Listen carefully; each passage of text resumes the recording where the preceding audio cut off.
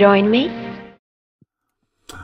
Hey guys, this is Carlos Phoenix um, with FilmHoundsNetwork.com, and I have a great special guest. Uh, this is going to be um, a treat for me because I, I had interviewed him just about a year ago, and uh, and we had a lot of fun on that interview.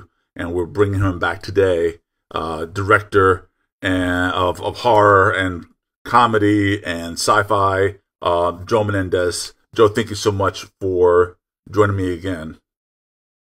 Of course, of course, my pleasure. I'm happy to be here.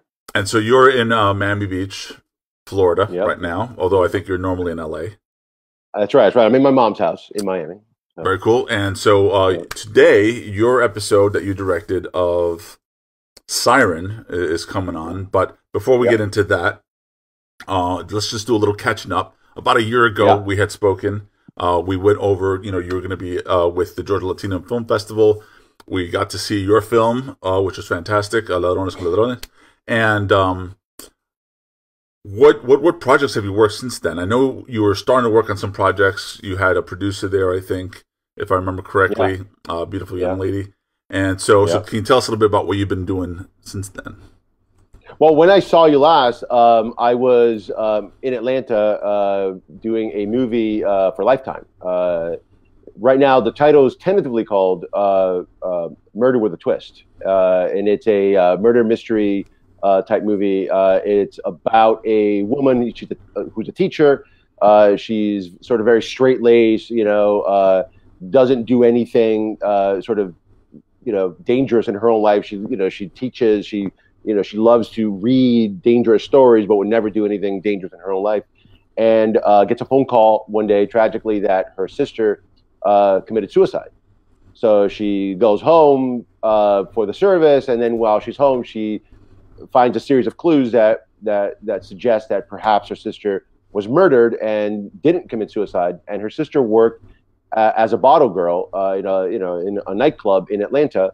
And so this woman, this teacher who has never done anything dangerous in her life, goes sort of undercover, if you will, uh, into this nightclub, into the seedy sort of underbelly of nightlife to sort of uh, get close to the people that were close to her sister to discover or to figure out whether or not she was in fact murdered. And so by doing so, she puts herself in terrible uh, danger. And so but it's a uh, so it's, there's a ton of twists and turns and there's all this uh, uh, uh, kind of cool stuff that happens but um, I love the movie uh, the, uh, the the script because it's uh, it was it, I had never done anything like it.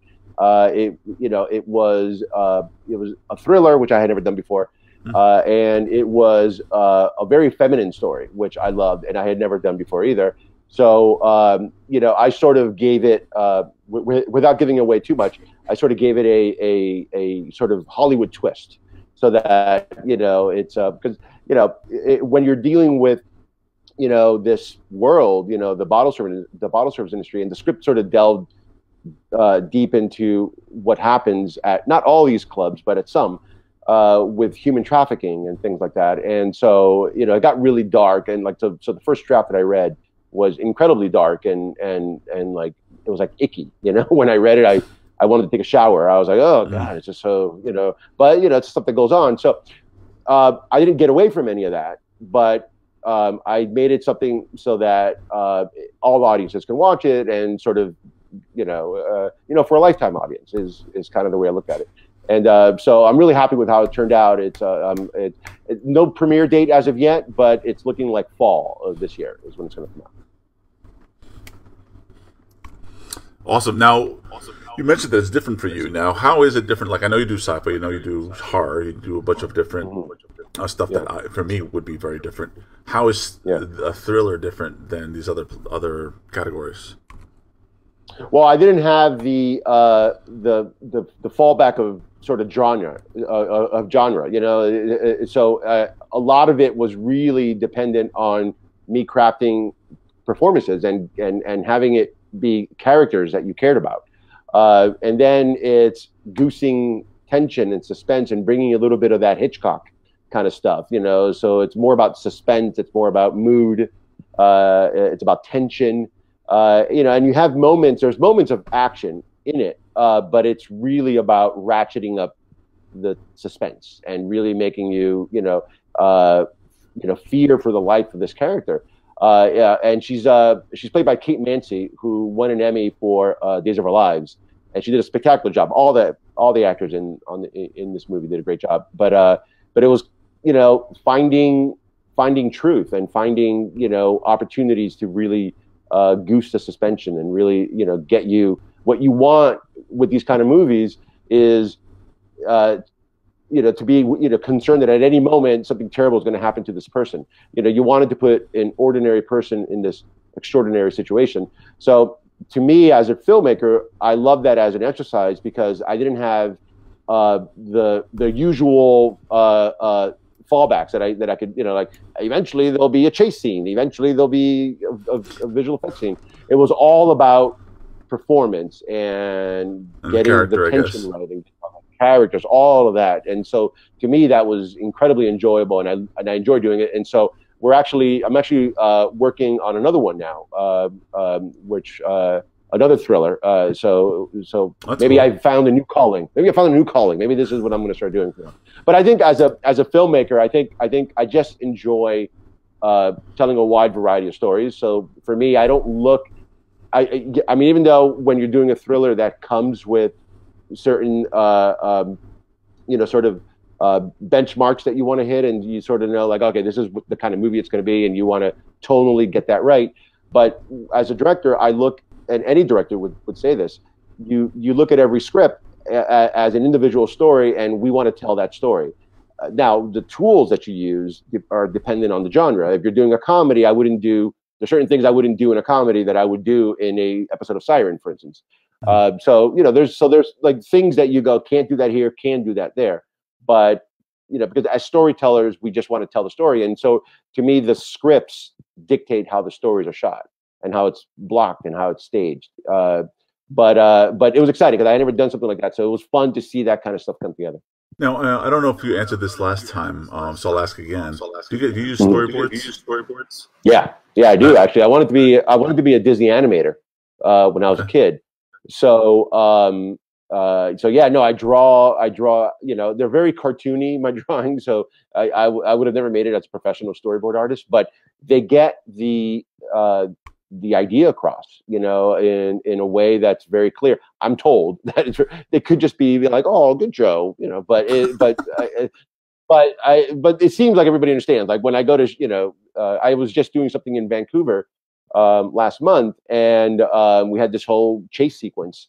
And uh, I drew it out. I drew it out myself. And you know, you sit there and you with all these seasoned stunt people. You know, all the same people that did the Deadpool movies were doing this stunt sequence, and they all understood it. And the sequence, it's uh, you know, you know, when that episode comes out, I may I may do a side by side comparison, you know, of the storyboards and the sequence be because fun. it's actually it's actually pretty close. Like it's um, oh wow, look at that. And then and in fact, the episode tonight that is airing of Siren, the opening sequence. I don't want to give away what the opening sequence is, but the opening sequence of the movie is uh, it, it, it like grabs you right right from the beginning. It grabs you like the it's a it's a pretty cool opening sequence, and I drew it out frame by frame. And so uh, when when this when it comes out, I may do that. I may for the opening scene of my episode of Siren Tonight, I may put the storyboard and the secret side by side uh, because it's almost identical to how I drew. There's a few things that we didn't do, uh, but by and large, it's almost identical. So clearly, cool. people are understanding my. oh yeah, well, because I used to I used to do storyboards, and yeah, um, I know I, I know for uh, I tried to do my own side by side comparison. Now, is your headphones plugged in? Because I hear an echo. Oh, how about that? Is that better? Testing. How about that? How about now? Yeah, I still hear. Am I echoing? Oh boy. Well, I got my big Bose headphones that I could switch over to. Should well, is there over? is the speakers on the computer playing? No. Oh, interesting. Okay. This is live, live Facebook. This is, do you want, no, to switch over? I'll do it. Right. I'll do it live on Facebook. No, it's all right. Well, um, all right. All right so what I'm going to do is I'm going to show a, a, couple of clips of some of the stuff that we've worked on, yeah. uh, and let let people get an idea of the quality of your work. All right.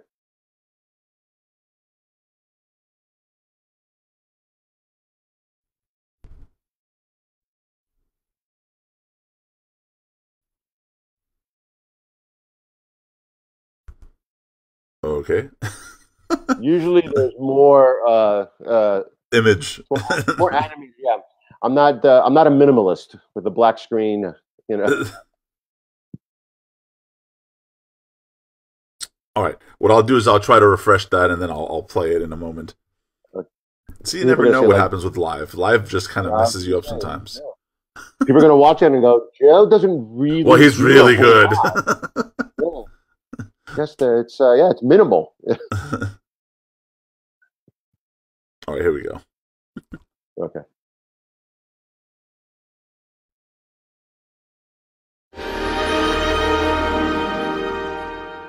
Don't you worry.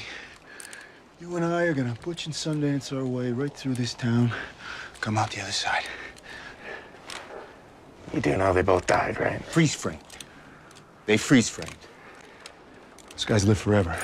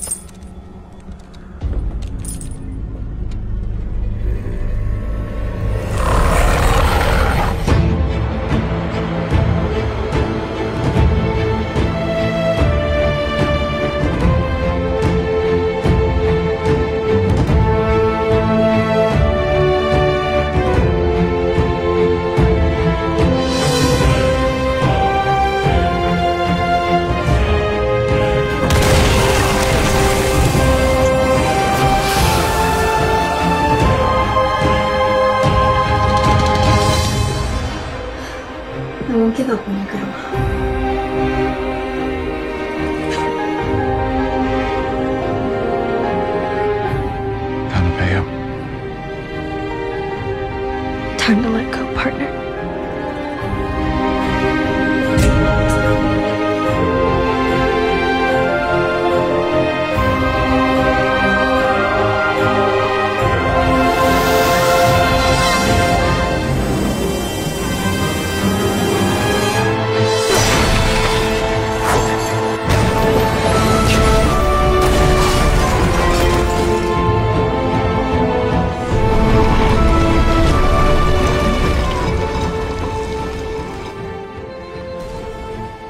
So I'm lowering the sound.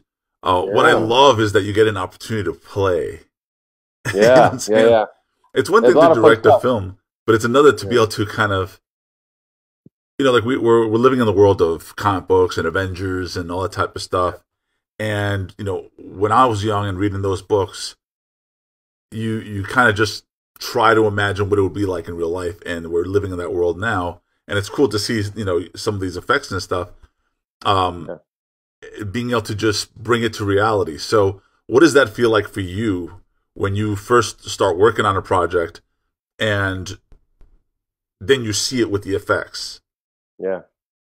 Well, it. it uh, I was having a conversation the other day with a uh, with a um, a filmmaker friend, and um, I told her that uh, you know there's a you know the, the, you know you have to ask yourself why you do the things you do, and why you know uh, you know it, it's and, and, and you can't just say why I do it because I want to get paid. Oh, I do it because I want to get rich. well, that's not that's not a that's not the that's not a real why. That's you know certainly everybody wants to make money and everybody wants to do well, but the why has to be something a bit more um, uh, dare I say internal. Um, and for me, it's uh, I do it. I do it. There are moments that I plan and I, you know, and I shoot and then I go edit. And there's a moment when all that's done and you're watching it and it comes together. And when it works, it, and, it doesn't always work. when it works, there's a moment of bliss, is what I call it. It's bliss, like where you go, wow, that that worked like I saw it in my head, and and it's it's um it's a it's a gratifying feeling that I think uh, any filmmakers out there that are that are watching would understand. You know, when you have those moments uh, where something worked, and and and so you live for uh, crafting as many of those moments as you can. You sort of want to keep your batting average up. You know, you want to you want to have as many blissful moments where you put together things that worked. Um, I, you know, and, and and you want that to happen as often as possible. Um, right. And so and so, for me, it's it's it's not about you know because you know you don't what you never want to do is say I want to I want to get there, and when I get there, I'm going to be happy because you're never going to be happy when you get there because then you're like, now what? True, the true happiness is as is the process. You know, you're working and you're having these moments. It's blissful, and then you move on to the next blissful moment, and you don't know that could that could happen on the very next thing you do, or that could, it could be a year before you see something that you go, ah. Oh. And it's these. I, I'm not sure if I'm making any sense, but it's it's cre- creating things uh, that work, and when they work, whether it's something with visual effects, like you're saying, or whether it's something like on you know the the Lifetime movie that I did that's all performance and it makes me cry. It's it's mm. you want these blissful moments. So how do I feel when I see these effects? It's like like this scene right here with Wilmer. Um, you know, there was no muzzle flash coming out of those guns, and so it, you know the actors were basically standing there going like this, you know, and so muzzle flash gets added, and then you add bullet hits, and you add all that, and when you see it all come together, you have a moment where you're like, "Whoa! Oh my God, that totally works." Yeah. But uh, and then and then it's like a drug because then all you do is work towards doing it again, and and so you look, you, you just go from moment to moment where it all works. So it's incredibly gratifying when it works, mm. and but it's not something that I do alone. I mean, all I could do as a director is point and and and suggest and say, how about this? How about this? And then other artists and collaborators come in and they're the ones that actually put it all together. You know, all I could do is tell them what I see in my head, and that's what directing is. Directing is taking this and sharing it with everybody, and then guiding and nudging. You know, until you see the thing that you have in your head, or as close to it as you can. Now, did you go straight into directing, or did you do something before that? No, I was one of those, man. I, I got my ass kicked a lot growing up because I wanted to be a, you know, I grew up in the projects, so I, I, you know, I didn't, I, I you know, so I was, I was a, I was a, a rare thing growing up. You know, somebody, especially back in the '80s when I grew up in my in my neighborhood, wanted to make movies. So that's all that I ever want. Like, if this directing thing wouldn't have worked out, I don't know what I would have done. Hmm. And uh, so, but thankfully, it's it's all worked out. Now, that doesn't mean that I I didn't have odd jobs. I did, you know, I did all sorts of odd jobs. You know, uh, uh, before I could just make my living as a as a director. But uh, so, but it wasn't like I I came from one career and then switched over. I've always been a director, and you know, whenever I did any, you know, I learned how to edit, I learned how to run camera. I've done all of that, uh, but that was sort of a means to an end. Uh, it wasn't because you know I was doing that. That was my career, and then I switched. I've always been a director my whole life, and you know what's interesting is, and again, other filmmakers that are on this, uh, know what I'm talking about. It's for the longest time, you know, early on in your career, you almost when you say you're a director, you know, you kind of go, "I'm a director," you know, because you know when you when you don't have you know sort of body of work that you could really show, because the first thing people ask is when you say you're a director, it's like, "Oh, what have you done?" And right. so then when, when you got to start explaining, then a diaper commercial. Feel, yeah, but but by the way, if you've done a diaper commercial, you're a director, you know, right. so you shouldn't do that like I used to do. I used to do that back in my 20s when I was doing like Spanish television. I, you know, I'd be like, I'm a director. Oh, what have you done? Oh, Spanish television and doing, you know. And now I realize like, I was a director, you know. So it, it, it, it, I've never, so I've never done anything else. I've always just done this, and uh, thankfully it's worked out, and uh, and uh, so I couldn't be happier. I'm doing the thing that I've been wanting to do since I was a little kid. Now, before we went live, you mentioned uh, you, you didn't know if we had talked about Queen of the South. But uh, but is there something you wanted to bring up about that? No, no, I just didn't. Re- I just couldn't remember if we had if we had discussed it or not. And uh, it's one of the shows that I did uh, for USA Network. Uh, you know, uh, had a fun time on that show. The cast was amazing. It's a predominantly uh, Latino cast, and you know, which is always something uh, that's exciting. You know, uh, you know, you know, for me uh, to to kind of go Latino, Latino, Latino, Latino, Latino. Ah, this is kind of interesting. You know, so it's, it's always that's always that's always the fun thing, you know, and and and uh, and you know, but obviously on that series it was also appropriate because it was you know the rise of you know this character that was going to eventually become the leader of this of this uh, this cartel family. And uh, but uh, but that, no, that, I just didn't know if we had talked about it or not in, the, okay. in our last interview. Just wanted to make sure I at least touched base with it. I uh, yes. so um, Oh, cool. So we we got a uh, just a comment. Uh, that's so great that your Uh-huh. passion for the work shows through the, through. Oh, okay. Well, thank you. Um, so let me ask you another thing. So let's go over a little bit about Siren. So Siren, uh, I started watching it since since it premiered. Uh, once I knew Yeah. that you were working on it, that was my enticement. I was like, okay, let me see what Joe does. You know, uh, and and granted, uh, I still haven't seen what Joe does on this show because the episode he Half an hour. he, he directed is Yeah. today In 40 tonight. minutes. in 40 minutes. Yeah. So I'm looking forward to that. Um, Thank you. So let's uh, talk a little bit about Siren. Can you tell us a little bit about the premise of the show as a whole? Well, the show takes place in a it's, it's a fictional like a Pacific Northwest uh, like fishing town called Bristol Cove, and um, you know it's it's a town that has had uh, you know the fishermen have had um, interactions with mermaids for generations, and uh, so uh, but it's not mermaids like Ariel, you know, uh, in the Little Right. Mermaid. It's these are these are mermaids that that you know that are predatory that that you know that you know they hunt you know. They're not aggressive unless you know someone goes after them then they could be because they're when they're on land they're much stronger than humans.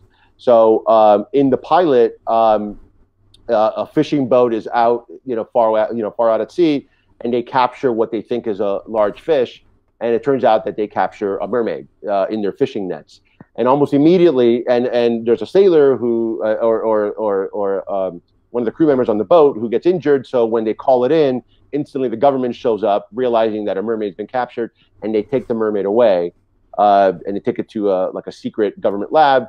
And what ends up happening is the sister of that captured mermaid comes onto land to rescue her, and the sister is Rin, and Rin is sort of the lead mermaid, played by Eline Powell, uh, brilliantly, I might add. I should say, And- um, we, uh, and I don't mean to interrupt you. A spoiler alert Yeah. for those who've not seen the first episode.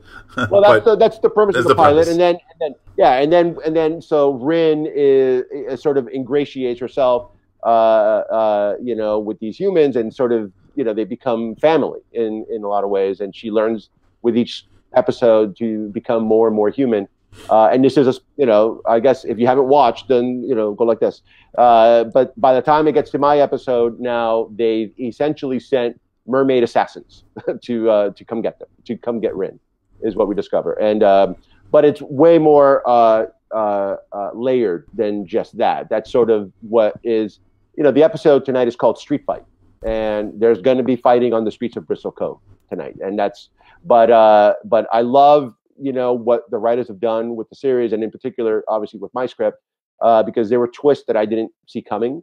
You know, because obviously when I got my script, I watched um, as many episodes as I could, and then I read all the scripts.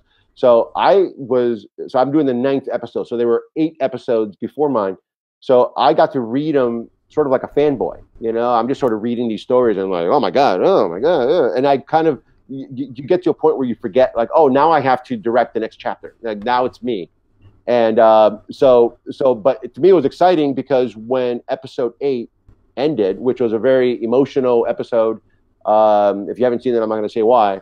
And um, so, you know, for me, when that, you know, like there were there was a moment in that episode that while reading the script, I cried, you know, and I was like, oh my god, this is this is uh, this is really great. And then and then so I was excited when I finally because I didn't I didn't read my script until I got through the first eight. I didn't want to read my script. I didn't want to know anything, you know, because I, you know it's all serialized. So I wanted to know um, where the story was coming from. Uh, and then when I read mine, like I, it was I, a page turner. You know, it was so it was so exciting and thrilling, and I didn't know what was gonna what was gonna happen. And when I got to the end, it was one of those things that I put the script down, and I was like, "Oh my god, I get to do this one! Holy Lord, yeah, this is awesome!" You know, so the moment I got up to Vancouver where we shot it, uh, it was a thrill to to make uh, because every every day of prep and every day of shooting was an absolute thrill. I mean, you know, there were times that I would sit around and I was like, "This is, this is the coolest job. Like, I'm, I'm doing a show about you know about mermaids and there's all this cool stuff happening on the streets, which you'll see in about half an hour.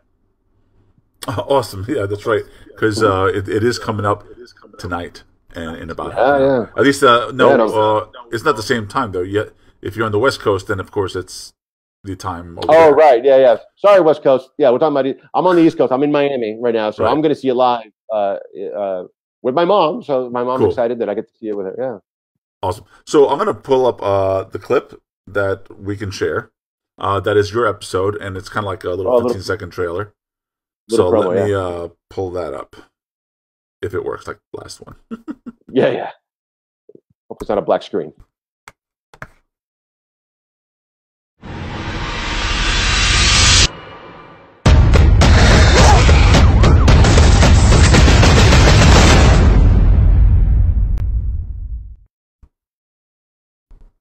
Huh. That's like too quick. Stop. I know these are these 15 second promos, man. It's uh, you know, evidently people have uh, short attention spans. They got to do 15 second promos. You- this, and, uh, you know? and the other day you had posted something where you show. Now, uh, just out of fun, I think the uh, this post. Well, you know, if you don't mind me sharing that, uh, is that the merman actor? Yeah, that's uh. So he he was introduced in episode seven, uh, and uh, so uh, he you know and and uh came back at the end of last week's episode and uh, is in this one big time. You know, So now, Well, from and- from the post that you had placed, um, his name is Sadale. Uh, uh, Sadale, who is a wonderful guy and a terrific actor. And, and there's uh, uh, there's some stuff that he does in tonight's episode that you know. Again, you talk about those blissful moments. Uh, there's a sequence in tonight's episode that, as I was shooting it, I mean, you know, I knew the effect that I that that we all wanted the sequence to have, and uh, and the first time I saw it, it's again, it's one of those moments where you forget it's your episode because you're watching it and you're like whoa, you know, and then you're like, oh my god, that totally worked. Just you know, and anyway, so uh, he's got he's got a scene like that tonight. You'll know it when you see it. Awesome. Well, you know what? Uh, I th- is there anything you want? No. Uh, so you told me that there's a season finale is next week, Next week, that's right. Uh, Nick and uh, and of course, you know they're not going to tell us or you uh, who's directing the next season and stuff because they're probably still in the process of creating that. But Yeah. is there anything else uh, that you've been interested in working on that you just kind of have your fingers crossed? Oh my God, yeah. I mean, you know, uh, you know, you were talking earlier about the uh, uh, the superhero shows. You know, uh, uh, you know, there's Right, right, right. uh, there's a sounded terrifying. I don't know what that was, but that was terrifying. uh, but uh, um, the, I'm I'm a big fan of of the superhero shows. You know, there's a oh yeah, there's another one. Yes. There's some spears. All I'm going to say, there's some spears being thrown. telling you. And like they're, they're not even spears, they're harpoons. Yeah, like that's Yeah, it's, a lot more weight. It's even like and and holy uh, because like it's what the whalers would actually use to to uh to kill you know uh, whales, I guess. And uh, so we had you know you know we had obviously on set we had you know like the prop ones and all that, but we had real harpoons. And you grab those things, you know, and you start to appreciate what these fishermen, you know, it's, it's just they were heavy, you know, and it's like and and you know they were bottom, you know, especially the the the you know the the, the tip was really heavy, and so like when you bring that down, you thrust that down. It's uh so uh, the fact that these uh, mer people, these merfolk, can toss these harpoons, uh, uh, it shows how strong they are. Um, but um, but anyway, but uh, you were mentioning, you know, um, you know, superhero shows, and you know, like I love all those things. Like I, you know, I'm a big fan of of, of all those kind of shows, and so you know, and and but but also a fan of y- you know, like a good like a good procedural. You know, like you know, like I love I love those kind of you know, like uh, there's a mystery at the beginning of the episode, and, I got bitten by that bug doing doing my movie uh, you know, that I like the idea of you set up a mystery at the beginning and you get all these clues and oh, wrong direction. No, it's this way. And by the end of it, you know, you figure out, aha, who, here's who the killer is, or, or here's what the twist is. And um, so, which is what a lot of these uh, procedurals do. And and uh, so I've I've uh, I've gotten you know where I'm you know really interested in those things as well. So you know, these are all things that I'm working on. Uh, uh, you know, it- it's it's uh, you know n- nothing worth discussing yet you know but these are all things that i'm that i'm working on maybe maybe by uh, next year i'll be able to come back and talk about some of the other things that that i'm working on now Well, I can see that the internet is starting to kind of get all choppy. So before we end the episode, um, Mm. one, of- one of the things I wanted to ask you is, you live in you live in Hollywood, right? I live in LA. Yes. Okay, that's where. Yeah, excellent. Uh, so what what can you say about Hollywood that helps you kind of uh, get emotionally hyped up to work on the productions that you work on? Is it is it is it an atmospheric thing? When I on on any particular show, you mean? Yeah. Oh, I, well, it's the script. I mean, you know, well, I, I mean, you know, like I, I've got next month, I've got uh, a new episode of Twelve Monkeys coming out that I directed, uh, Awesome. and uh, it's one that they go back in time to the old west. Um, so, you know, first of all, I love a show like Twelve Monkeys because it's a time travel show, so that's exciting. And then you get told like, oh, by the way, your episode is set in the old west, so you're doing a cowboy episode. You know, I'm like, done. Like I, you know, how can you not love that? Uh, so so it's it really is, uh, but it really is the script. It's always starts and stops with the script. You know, so the script is what gets me excited and gets me. You know, but like if it's a show that uh, you know, like Twelve Monkeys or Siren, uh, those kind of shows are are things that are right in my wheelhouse that I really enjoy doing. But the, it's always the script though. The script Okay. is you're excited about getting on the show, and it's like that moment of anticipation when the show uh, hands you the script or sends you the script that you read it. That's the moment of, of excitement because that's the Um, and so uh, hopefully we'll get to see way more episodes with you and Siren. Um, and, and I'm, I'm starting to freeze up myself here. So uh, Yeah. before before the internet kills us. So anyway, well, but anyway, let me let me thank you anyway for uh, being on on the show and uh, for allowing us to kind of poke and prod and ask questions about what you've been doing. And uh, for me, it's always exciting because I don't get to do this stuff. So, Yeah. uh, but I, you know, but I had my previous history there and, and working on productions, and I kind of miss it. And so, talking to you just makes me miss it it's a more. little addictive. It's it's addictive. It is addictive. It is. You know. It's a lot of work. I know it's a lot of work, uh, hours and hours and hours and weeks and weeks and weeks. But um, but yeah, I mean, when you're not doing it and you're watching it on screen, you're like, oh, I might have done it differently, or I can see how they did that, or you know, those type of things. Oh, But cool, Yeah, you give uh, you give you give ten different directors the same script, you're going to get ten different movies. absolutely. We all see, Absolutely. we all see things different. You know, there's no right or wrong. It's just how you see it. Yeah.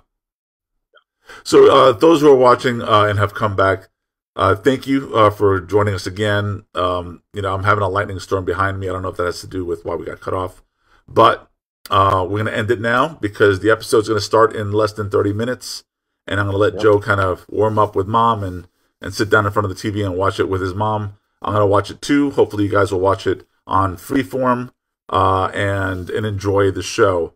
Uh, if you have not been watching the show, the show is Siren, and it's on the Freeform channel. I just heard another strike. All right. Yeah. So thank you so much for joining the everybody. Coast- yeah, yeah. We're getting And- slammed out here on the East Coast. Cool. Thank you so much again. All right, guys. Of Take course, care. man. Thank you.